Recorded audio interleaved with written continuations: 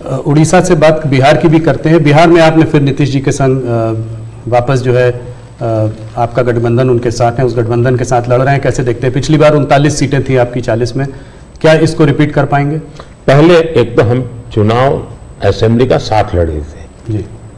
बाद में वो कहीं गए फिर वापस आए। तो हम जो जनता का मैंडेट है उसके अनुसार साथ में है। जी। जहाँ तक जन समर्थन का सवाल कल मैं बिहार में ही था। जी। जो जन समर्थन मैं देख रहा हूँ जी अनप्रेसिडेंट इतनी गर्मी में कोई पैंडल नहीं कुछ नहीं। जी। और लाखों लोग जिस प्रकार से इस बात से जुड़े हुए हैं मैं साफ़ देख रहा हूँ जी कि बिहार में पहले में एक आध सीट शायद हार जाते थे। शायद इस बार एक भी नहीं हारेंगे। चालीस में चालीस। एक भी नहीं हारेंगे। बहुत बड़ा बयान है। हाँ। मोदी जी एक आध पर्सनल सवाल आपसे करना चाहूँगा।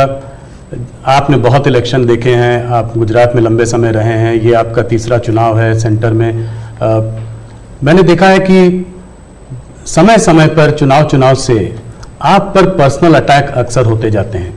कहीं पे कभी बोला जाता है मोदी को गोली मार दो कभी बोला जाता है सर फोड़ दो। अभी हाल फ़िलहाल में राहुल गांधी ने भी आप पर कुछ आपको कुछ ऐसे शब्द बोले हैं जो कि पर्सनल अटैक के तौर पर उनको भी देखा जा सकता है। ये ऐसा मोदी के साथ क्यों होता है? मोदी के साथ क्यों हो रहा है, इसका जवाब तो मेरे पास नहीं है। लेकिन ये सवाल मोदी को क्यों पूछना चाहिए? ये सवाल इस देश में चर्चा का होना चाहिए कि सार्वजनिक जीवन में आखिर मोदी का गुना क्या है? वो पीएम बना वही गुना है ना।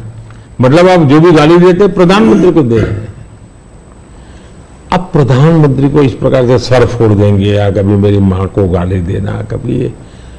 और मैं हैरान हूँ जी, भारत के राष्ट्रपति पर भी किस प्रकार का कटाक्ष किया गया था? शर्म आए इस प्रकार की भाषा का प्रयोग किया था। मैं हमेशा मानता हूँ जी, मतदाता ही मेरा परिवार है, देश ही मेरा परिवार है। और मैं सकारात्मक से जा रहा हूँ। लेकिन जो ऐसा कर रहे हैं, उस पर तो मैं आप लोगों पर छोड़ता हूँ, देशवासियों पर छोड़ता हूँ कि लोगों की तरफ़ कैसे देखना चाहिए।